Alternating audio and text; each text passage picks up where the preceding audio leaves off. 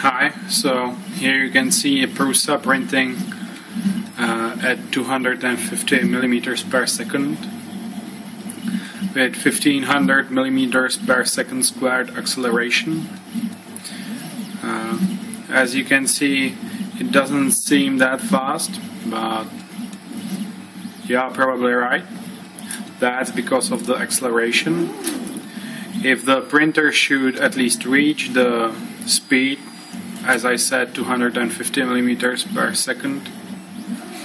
Uh, it has to go on a route which is at least five or six centimeters long. I'm not sure now. So that's actually why it keep oh, why it seems slower. So yeah, I will keep uh, trying uh, faster accelerations. But yeah, th this is no no problem for a Prusa. You can't see any vibrations at all. So we can try faster. Thanks.